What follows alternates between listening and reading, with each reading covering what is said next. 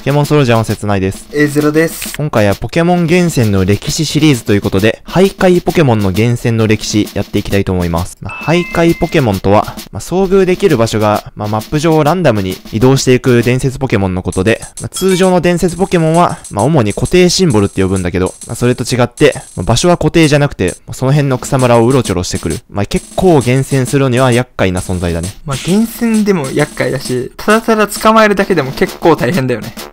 まずどの世代でも、まあ、徘徊ポケモンを捕まえるときに行う、まあ、基本中の基本の手法があって、遭遇するポケモンのレベル以下、その草むらで出るポケモンのレベル以上のポケモンを先頭にして、ゴールドスプレーを巻くこと。まあ、それをすれば、徘徊ポケモン以外のポケモンとは、まあ、遭遇せずに、まあ、徘徊ポケモンだけとエンカウントすることができるから、まあかなり効率よく、徘徊ポケモンを探すことができるようになるね。で、徘徊系ポケモンは、もう遭遇したらすぐに逃げることが多いから、確実に捕獲したいときはマスターボールを使うんだけど、まあ、マスターボールがない時は、まあ、黒い眼差しとか、特性影踏みのポケモンで捕まえて逃げれないようにしてから、まあ、ボールを投げていく。まあマスターボールは数に限りがあるし、まあ、くじでいっぱい当てるみたいなのは難しいから、まあ基本的には黒い眼差しとか使うことが多いのかな。一応毎回クイックボールの捕まえやすくなる倍率がかかるから、クイックボールを毎回投げるみたいなのもなしではないけど、まあ大変ではあるよね。まあ初代の赤緑には徘徊系ポケモンが存在しなくて、初めての徘徊系ポケモンが登場するのは金銀だね。まあ、エンテ、ライコ、スイ君が、まあ、焼けた塔で、まあ初めて出会って、まあ、そっから出会った後、譲渡地方内を、移動し始めると。さっき説明した黒い眼差しで、これらを捕まえても、吠えるを覚えてるから、戦闘が強制的に終了してしまって、黒い眼差しが効果をなさないのが、かなりめんどくさいポイントだね。根気よく、まあ HP を削っていって、まあボールを投げるしかない。まあ性格や個体値のまあ決定は初めて野生で遭遇した時だから、焼けた塔で徘徊が始まる前にセーブして、リセットしてっていうのをしなくてもいい。まあ、これは少し優しいよね。これ以降のソフトだと、徘徊がスタートする直前にセーブをしておかないといけないから、まあ結構手間なんだけど、まあ金銀ではそれがなくて、まあそれだけが救いと言ってもいいかな。エンカウントしちゃうと、まあ、性格とか個体値が確定してしまうから、まあ、それはできるだけ避けたいところではあるよね。まあただ、そのエンテイ、ライコウ、スイクンの生息場所を見るには、まあ他の人から図鑑登録用に、これらを交換してもらう必要があって、それがないとどこにエンテイ、ライコウ、スイクンが徘徊してるかわからなくて、間違えてエンカウントしちゃうと、え個体値がその瞬間に確定してしまうから、かなり事故の要素が大きいね。まあ、初見で、まず、エンテ、ライコ、スイクンの個体値を厳選しようって思うことはないだろうから、まあ、やるとしたら2周目以降っていうところで、まあ、それらのポケモンを、図鑑登録用に交換してもらうことができるから、まあ、大丈夫ではあるけど、まあ、一手間かかる要素ではあるね。あとは金銀だけの仕様として、徘徊ポケモンを眠りや氷状態にしていると逃げなくなるから、まあ黒い眼差しと違って、眠り氷状態にしておけば、吠える、される心配もないから、できることなら、まあ、これらの状態以上にしておきたいよね。まあ、眠りとか氷状態は、まあそもそもポケモンが捕まえやすくもなるから、まあかなり噛み合った仕様ではあるよね。あとこれも金銀だけの仕様なんだけど、プレイヤーが直前にいたエリア、あとその一つ前にいたエリアには出現しないから、例えば二つのマップを往復するだけで、エンテイ、ライコウ、スイクンが寄ってくるかと言われたらそうではないっていうのが、まあこの世代のめんどくさいポイントの一つでもあるね。行ったり来たりじゃなくて、まあ、大きくぐるぐる回るみたいな。まあ大きくなくても、まあ3つ以上のところをぐるぐる回る必要性はあるっていうことだよね。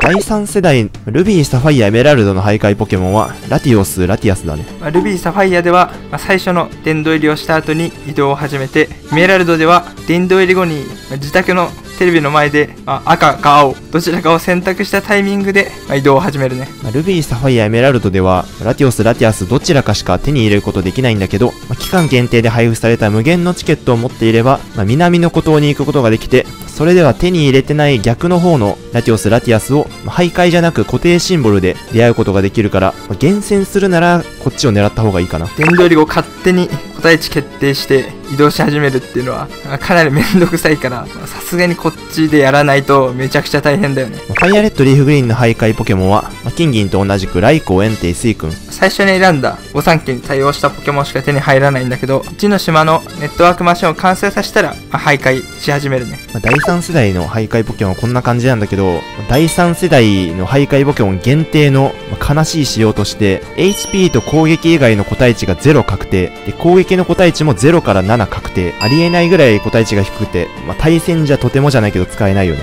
うん、準伝のパワーはあまり感じられないよね。で特にまあ、3世代以降からハートゴールド、ソウルシルバー発売以前の間に、ライコ、エンテイ、スイクンを捕まえる手段が、このファイヤーレッド、リーフグリーンと、あとはポケモンコロシアムのみだから、まあそれまでの対戦環境で、まあ、個体値が高いライコ、エンテイ、スイクンを使うには、ポケモンコロシアムが必須だったね。そのポケモンコロシアムも、厳選難易度としてはもう、正直終わってるレベルで 難しいから、まあ、高個体値のこれらを捕まえるっていうのは、あ、マジで難しかったね。エメラルドでは徘徊の仕様が修正されてるから、まあ、個体値が高いラティオス、ラティアスに出会うことできるんだけど、エメラルドの仕様として今度は、ゲームの起動時間から個体が決定するタイミングが一定の場合、まあ同じ個体値のポケモンばっかり出るんだよね。結構な確率で、まあ、同じ個体が出てきちゃって、まあ、厳選になってないみたいなことが、まあ、起きてるよね。まあ、初期シードとか乱数消費とか、そういう仕様が色々相まって、エメラルドではこういうことが起きてるんだけど、まあ、このことをエメループと呼んでて、まあ、これを聞いたことある人はいるんじゃないかな。結局、エメラルドでも、厳選はめちゃくちゃ大変だっていうことだね。ダイヤモンド、パール、プラチナでは、かなり多くの種類の徘徊ポケモンがいて、まあ、エムリット、クレセリア、あとサンダー、ファイヤー、フリーザーだね。ポケッチのマーキングマップを見れば、どこにいるかっていうのがわかるから、かなり探しやすいかなとは思うんだけど、これらのアイコンが全部同じだから、どのマークがどのポケモンかっていうのはわからないんだよね。特にプラチナだと、サンダー、ファイヤー、フリーザーまで徘徊し始めるから、同時に5匹同じマークが同時に徘徊するから、どれがどれだか本当にわからない。基本的には、エムリットを出したら、まあ、エムリットを捕まえてから次クレセリアを、まあ、徘徊させるようにみたいにする必要があるかな。で、プラチナ以降の作品では、徘徊ポケモンを倒した後、殿堂入りすると、個体決定がまあ再抽選されて、また別の個体が徘徊し始めるから、まあ厳選し直せるし、まあ倒してもまた再チャレンジできるしっていうので、まあかなり優しい仕様にはなったかな。まあ、間違えて倒しちゃって、間違えてレポート書いちゃったみたいなことがあっても大丈夫っていうのは一応嬉しい要素だね。ハートゴールド、ソウルシルバーからは、まあ、エンテイ、ライコウ、あとはハートゴールド限定でラティアス、ソウルシルバー限定でラティオスが、このソフトの徘徊ポケモンかな。まあこれらはポケギアのマップで見ることができて、まあなおかつどれがどのポケモンかもわかるから、まあかなり捕まえやすいよね。ブラック、ホワイトの徘徊ポケモンは、まあブラックでボルトロス、ホワイトでトルネロス。8個目のジムリーダーの、まあ、シャガかアイリスに勝った後、まあ、7番道路に行くと、まあ、嵐が起こって、民家に入ってまた出ると、まあ、トルネロス、ボルトロス出てきて、まあ、そこから徘徊をし始めるね。ボルトロス、トルネロスがいる場所を特定するには、まあ、各所の、まあ、ゲートの電光掲示板を見たり、まあボルトロス、トルネロスがいる道路は、まあ、必ず雷雨が起こってるから、まあ、ちょっとわかりにくいけど、それで、まあ、どこにいるかがわかるかな。XY では、まあ、御三家に対応したサンダー、ファイヤー、フリーザーの、まあ、三鳥が、まあ、徘徊ポケモンとして挙げられるかな。殿堂入り後に徘徊し始めて、出会っても、まあ、必ず逃げてしまうっていうのが、まあ、他の徘徊ポケモンと違う点だね。まあ、その時点では捕まえたり戦ったりすることができなくて、まあ、その徘徊してるサンダー、ファイヤー、フリーザーに、まあ10回出会う必要があって、それが終わると、和田摘みの穴に、まあ固定シンボルとして登場するようになるから、実質固定シンボルだけど、まあ、その前に、まあ鳥たちと戯れましょうっていうことだよね。まあ場所を特定するのは、まあ第3世代と同じポケモン図鑑の分布だね。まあ3文以降は、まあ実質的に徘徊ポケモンはいなくなったと言っていいかな。まあ、UB とかが固定シンボルじゃなくて出てくることはあるけど、まあ、徘徊ポケモンと違って、まあ、出てくる場所は決まってるし、まあ、逃げることもないから、まあ、そこら辺の通常ポケモンと、まあ、何ら変わらず出てくるみたいな感じだよね。ウルトラサンムーンでは、ウルトラビーストとネクロズマの出現方法が変更されて、ま徘徊ポケモンというか野生ポケモンではなくなったんだけど、代わりにツンデツンデとズガドーンが、同じような形式で出現するね。剣立では、ダウンロードコンテンツの冠の出現のストーリーを進めると、サンダー、ファイヤー、フリーザーのガラルの姿がワイルドエリアとか、まあ、鎧の孤島とか冠の雪原に固定シンボルで徘徊していると言っていいのかな、あれは。あのサンダーとか早すぎて笑っちゃったんだけど、初見の時。先読みで追いかけないといけないし、一番めんどくさかったのはフリーザーかな。まあ徘徊っていうよりかは、これもまあイベントというか固定シンボルになるのかもしれないけど、まあ、剣立てで強いて徘徊ポケモンとあげるならこれかな。まあ山頂が徘徊ポケモンみたいな立ち位置になるっていうのは、まあ、昔から、まあ、変わってないってことだね。ということで以上が徘徊ポケモンの歴史だったんですけど、まあ成功法で厳選しようとしたらかなりの手間かかるし、昔の仕様だったら理想個体なんて出るわけがないから、まあなくなってくれてよかったのかな？小学校の時とか、エムリットとか捕まえるのめんどくさくて結構放置してたような記憶があるんだけど。記憶だけどマスターボールをユクシーかアグノムに使ったような気がするんだよね。アグノムかな？悪巧み騒ぐ強すぎて捕まえれなかったんだよね。